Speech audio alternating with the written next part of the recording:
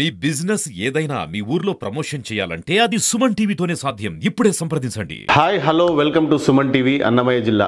నేను మీ సిరివేలి చరణ్ కుమార్. ఈరోజు వీడియో నా ముస్లిం సోదరులు కొంతమంది సిఏఏ ఎన్ఆర్సీ గురించి వీడియో చేయమని అడిగారు. వాళ్ళ కోసమే కాకుండా ఇది అందరి కోసం ప్రతి ఒక్క ముస్లిం సోదరులు సిఏఏ అండ్ ఎన్ఆర్సీ అంటే ఏమిటి అని తెలుసుకోవాలని ఈ వీడియో చేస్తున్నాను.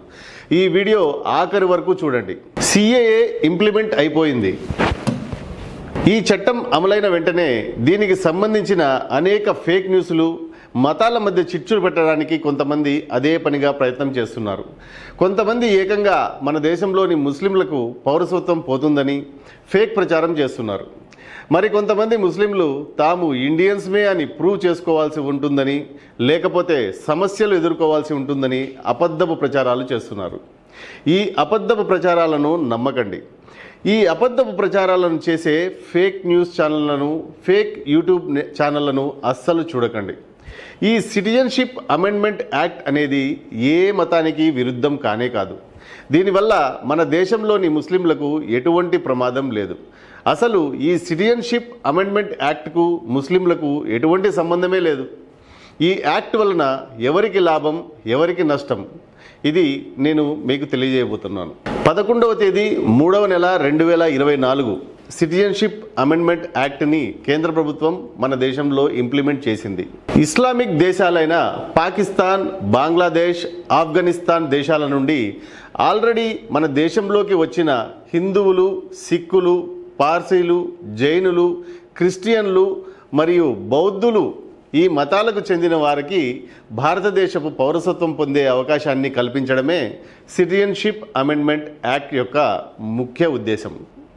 పాకిస్తాన్ బంగ్లాదేశ్ ఆఫ్ఘనిస్తాన్ ఈ మూడు ఇస్లామిక్ దేశాలు ఇక్కడ ఉన్నటువంటి అతి తక్కువ జనాభా అయిన నాన్ ముస్లిమ్స్ వివిధ రకాలైన సమస్యలను ఎదుర్కొంటూ ఉంటారు. మీరు చాలాసార్లు వినే ఉంటారు.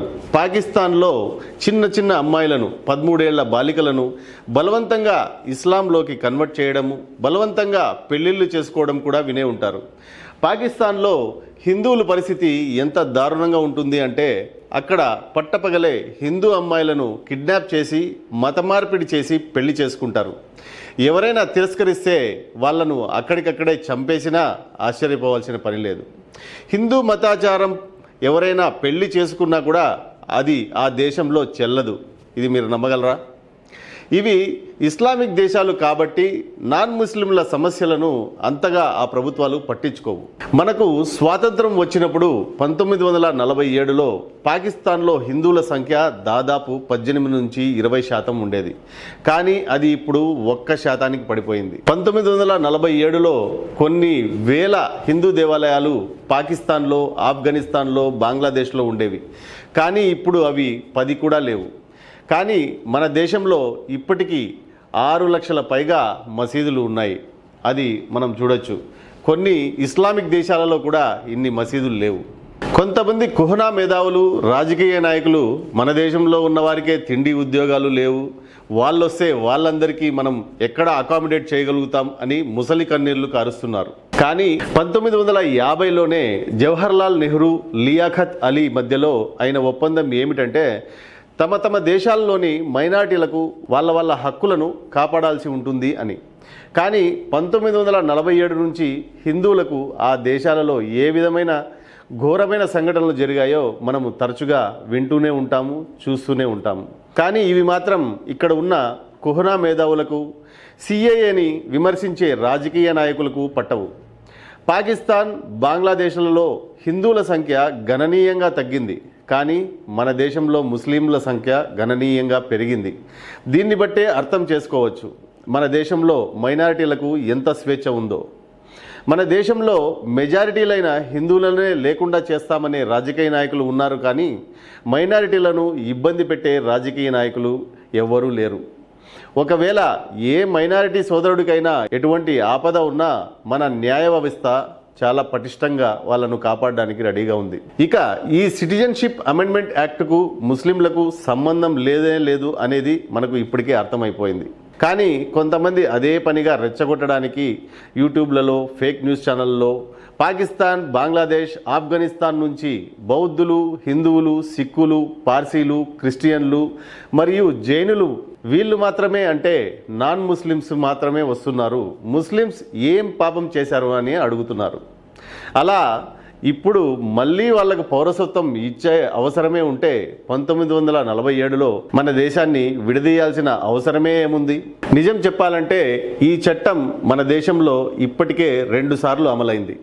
ఒకటి పంతొమ్మిది వందల యాభైలో అంబేద్కర్ గారు లా మినిస్టర్గా జవహర్ లాల్ నెహ్రూ గారు ప్రధానమంత్రిగా ఉన్నప్పుడు.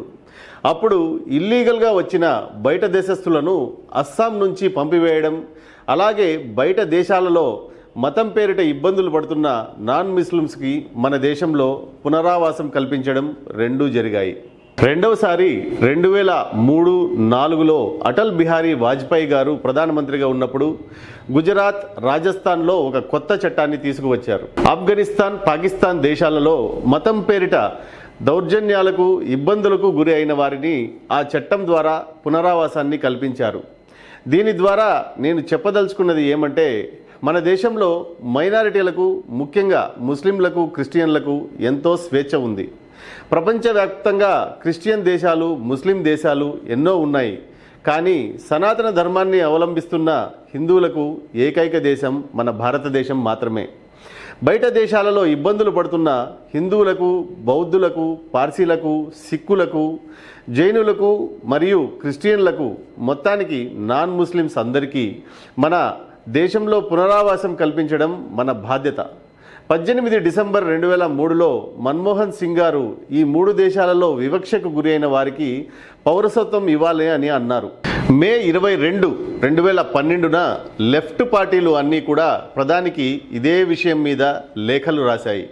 కానీ ఇప్పుడు అదే సమస్యను భారతీయ జనతా పార్టీ ప్రభుత్వము తీరుస్తుంటే మాట మార్చి అడ్డుపడడానికి ప్రయత్నం చేస్తున్నాయి. సో మనం అర్థం చేసుకోవచ్చు. వ్యతిరేకిస్తున్న పార్టీలన్నీ రాజకీయ దురుద్దేశంతోనే చేస్తున్నాయని. అయితే మన దేశంలోకి కోట్ల సంఖ్యలో రోహింగ్యాలు బర్మా మయన్మార్ నుంచి వచ్చి మన దేశంలో ఉంటున్నారు. వీళ్ళకు కొన్ని రాష్ట్రాలు అదే పనిగా ఆవాసం కల్పించి ఓట్ల కోసం వాడుకుంటున్నారు. వీళ్ళ వల్ల మన దేశంలో క్రైమ్ రేట్ ఎంతో పెరుగుతుంది. ఇలాంటి ఇల్లీగల్ ఇమ్మిగ్రెంట్స్ను మన దేశం నుంచి తిరిగి పంపించడానికి ఈ సిటిజన్షిప్ అమెండ్మెంట్ యాక్ట్ అనేది భవిష్యత్తులో ఎంతో ఉపయోగపడుతుంది. ఇకపోతే NRC national registration of citizens ప్రతి దేశంలోనూ ఎన్ఆర్సి ఉంటుంది. ఎన్ఆర్సి అంటే ఏమిటి అంటే ప్రతి పౌరుడు తమకు తాము ఈ దేశం పౌరులమే అని రిజిస్టర్ చేసుకోవడమే. సద్గురు జగ్గి వాసుదేవ్ గారు తమ స్పీచ్లో అన్నట్టుగా జంతువులను కూడా రిజిస్టర్ చేసుకోవాలనే చట్టం మనకు ఉన్నప్పుడు మనలో మన దేశ పౌరులు ఎంతమంది ఉన్నారు? పరాయి దేశం నుంచి వచ్చి అక్రమంగా ఎంతమంది నివసిస్తున్నారు? వీళ్ళు ఎక్కడి నుంచి వచ్చారు? ఇక్కడే పుట్టారా? లేక బయట నుంచి వచ్చారా? వీళ్ళు ఎక్కడ ఉంటున్నారు? అని తెలుసుకోవడం తప్పు కానే కాదు. ఇది పరిపాలించడానికి చాలా అనుకూలంగా కూడా ఉంటుంది. ఈ ఎన్ఆర్సీలో ప్రతి ఒక్కరూ అంటే మీరు నేను అందరూ రిజిస్టర్ చేసుకోవాల్సిందే. అలా రిజిస్టర్ చేసుకోవడానికి ఎన్నో ఆప్షన్స్ కూడా ఇస్తున్నారు. మీ బర్త్ సర్టిఫికెట్ ఇవ్వండి అంటున్నారు. కొంతమంది అది కూడా లేదు అని అంటున్నారు. సరే స్కూల్ సర్టిఫికెట్ చూపించమంటే నేను స్కూల్కే వెళ్ళలేదు అని అంటున్నారు. రేషన్ కార్డు చూపించమంటే అది కూడా లేదు అని అంటున్నారు. ఓటర్ కార్డు చూపించమంటే అది కూడా లేదు అంటున్నారు. అయితే ఎవరైనా మీకు బాగా తెలిసిన వాళ్ళను ముగ్గురిని సాక్షులుగా తీసుకురమ్మని చెప్పి అంటున్నారు. వీళ్ళల్లో ఏ ఒక్కడికి ఏ ఒక్కటి లేకపోతే ఈ విషయంలో ప్రభుత్వం ఈ ఎన్ఆర్సి గురించి సిఏఏల గురించి వివరించడంలో విఫలమైందేమో అని నాకు అనిపిస్తోంది. లేకపోతే నాకు ఈ రెండిటిలో ఏ విధమైన సమస్య కనిపించడం లేదు. నిజం చెప్పాలంటే ఈ ఎన్ఆర్సిని వేరే దేశాలు కూడా అవలంబిస్తున్నాయి. వాటిల్లో మనం చూడొచ్చు. Nigeria Somalia Colombia Europe Ukraine Iraq Jordan Palestine NRC యూరోప్లో Brussels NRC Geneva NRC UK London NRC USA Washington DC. ఈ విధంగా ప్రపంచంలో వేరే దేశాలు కూడా అవలంబిస్తున్నాయి. ఈ రెండు ఎప్పుడో జరగవలసింది. ఇప్పటి వరకు కూడా చాలా ఆలస్యమైంది. ఇంత సాధారణమైన విషయాలను సరిగా ప్రజలకు వివరించలేకపోవడం వల్ల కొంతమంది దానిని అవకాశంగా తీసుకుని దుష్ప్రచారాలు చేస్తున్నారు. కొన్ని విశ్వవిద్యాలయాల్లో ఉన్న నిరక్షరాస్య యువత చాలా అనాగరికంగా ప్రవర్తిస్తున్నారు.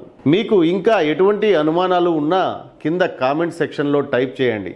ఎంత తొందరగా వీలైతే అంత తొందరగా రిప్లై ఇవ్వడానికి ప్రయత్నం చేస్తాను.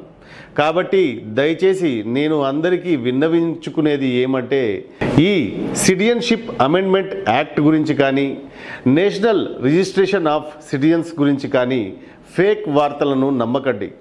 సో అది ఫ్రెండ్స్ ఈ వీడియోను జస్ట్ చూసి అలాగే వెళ్ళిపోకుండా లైక్ షేర్ చేసి మా సుమన్ టీవీ అన్నమయ్య జిల్లా ఛానల్ను సబ్స్క్రైబ్ చేసుకొని ఎవరైనా చేసుకొని వాళ్ళు కూడా ఉంటే వాళ్ళ దగ్గర కూడా సబ్స్క్రైబ్ చేయించి మమ్మల్ని ప్రోత్సహిస్తారు అని నమ్ముతూ మీ సిరివేల్ చరణ్ కుమార్. మరొక కొత్త టాపిక్తో మరొక వీడియోలో కలుసుకుందాం. అప్పటి వరకు జై హింద్.